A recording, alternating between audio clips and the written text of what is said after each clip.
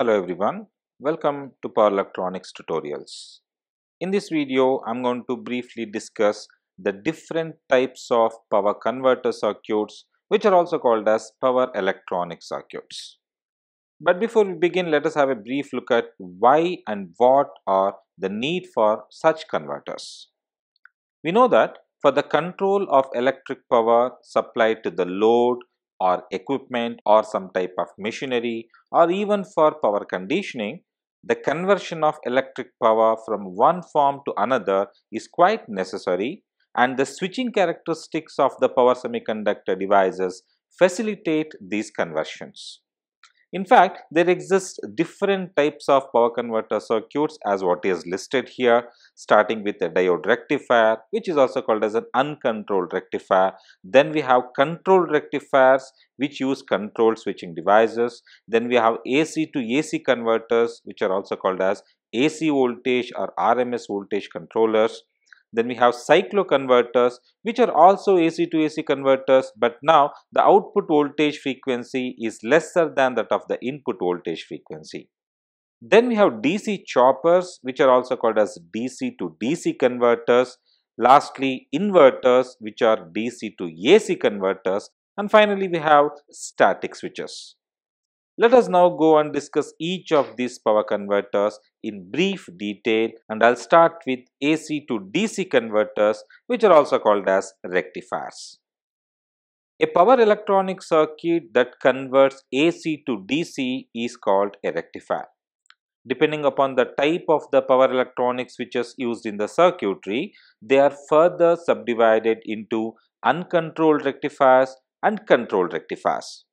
In an uncontrolled rectifier, the switches used are uncontrollable in the sense they conduct for the complete half cycle of the input cycle and hence the output is quite fixed.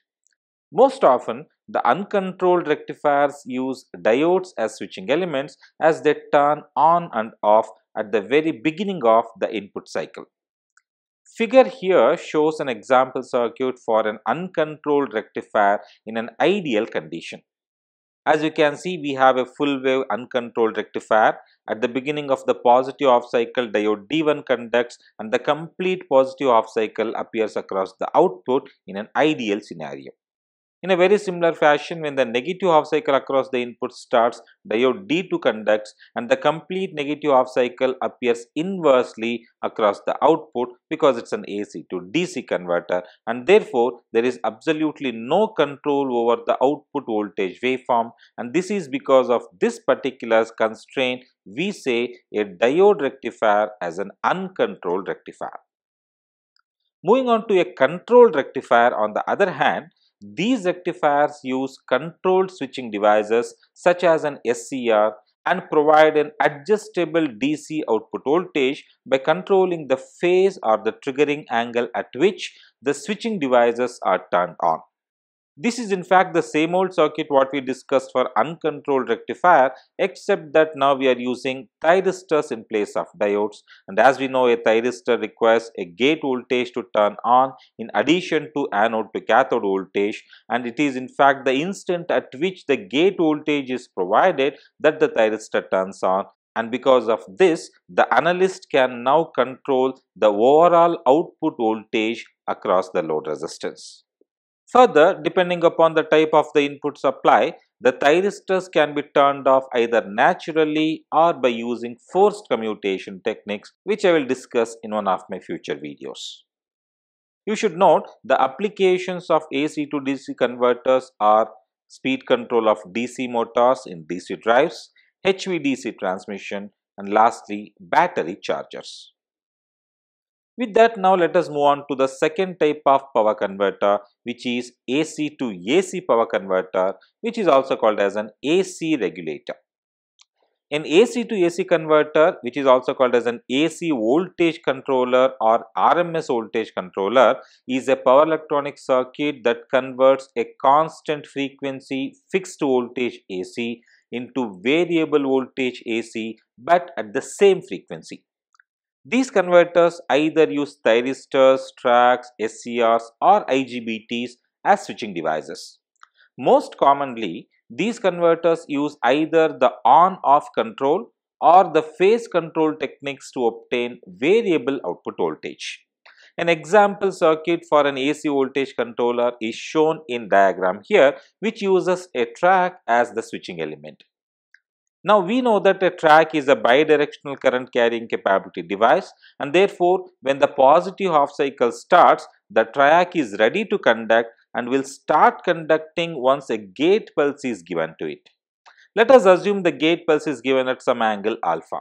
So the output voltage across the positive half cycle appears from the value alpha till the end of that corresponding half cycle which is still pi. The same principle can also be extended for the negative off cycle and assuming that the TRIAC is once again triggered at pi plus alpha during the negative off cycle across the input. So, if you look at the output voltage waveform here, it is still AC, but the average as well as the RMS output voltage varies as compared to that of the input and that is why we say this is an AC to AC voltage controller. Further, as I already had said, we have cycloconverters, which is also an AC to AC converter, but the output voltage frequency here is lesser than the input voltage frequency. Apart from that particular variation, there is absolutely no change when it comes to the operation. However, because the output frequency is less than that of the input frequency, cycloconverters are usually used for low frequency applications such as traction vehicles and gearless rotary kilns. Moving on to the next type of power converter which is a DC to DC converter also called as a DC chopper. DC choppers are power circuits that obtain power from a fixed voltage DC supply and convert it into a variable DC voltage. Since the input voltage type is DC, they employ forced commutation to turn off the thyristors used as switching elements in the circuit. DC choppers are further classified into several types depending upon the direction of power flow as well as the type of commutation employed. Choppers are widely used in speed control of DC motors from a DC supply, DC drives for suburban traction as well as switching power supplies. A simple illustration example for a DC chopper is given here which uses a BJT as a switching element we have used a DC supply at the input and the voltage across the base to emitter is given on a certain frequency basis. That is, this transistor is used as a switch and the switching action is periodic in nature. Whenever the base emitter voltage is positive, the transistor simply acts as a closed circuit and an output voltage appears across the load which is what is shown here depending upon whether the output voltage across the load is greater than that of the input or less than that of the input, choppers can be classified into step up and step down choppers respectively. Moving on to the next type of power converter which is DC to AC converter commonly called as an inverter.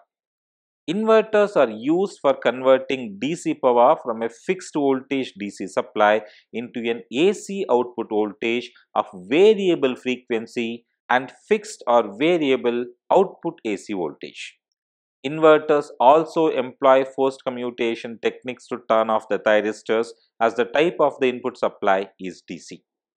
Applications of inverters are in industrial AC drives using induction and synchronous motors, uninterrupted power supplies which are commonly used for computers and computer labs.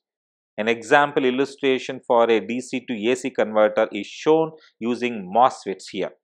As you can see, this is nothing but a bridge rectifier circuit which uses 4 MOSFETs in place of switches. The gating signals for the MOSFETs are shown here Please note transistors Q1 and Q2 are to be turned on simultaneously and therefore the gating signal for them are given at the same point. Very similarly Q3 and Q4 are supposed to be turned on and the gating signal for the same is shown here.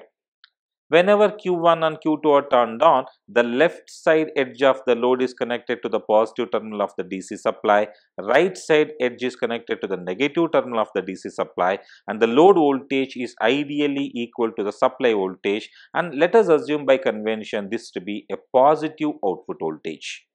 On the other hand, when Q1 and Q2 are turned off at T by 2 and at the same exact instance Q3 and Q4 are turned on, the load now is connected to the supply in the exact reverse order as when Q1 and Q2 were on. That is, the right side edge is connected to the positive terminal of the supply and the left side edge is connected to the negative terminal of the supply. Therefore, the output voltage is equal to the input voltage but with a reverse polarity. So, V naught is equals to minus Vs and this is what is indicated in the waveforms here. So, when you look at the output voltage waveform, the output is positive and equal to Vs for half of the duration and negative and is equal to minus Vs for the remaining half of the switching duration and therefore we can say now we have associated a frequency into the output voltage and thus this can be considered as an AC voltage. Lastly, we come to static switches. Since power switches can be operated as static switches or simply contactors, the supply to these static switches can either be AC or DC and the switches are also called as AC static switches or DC static switches respectively.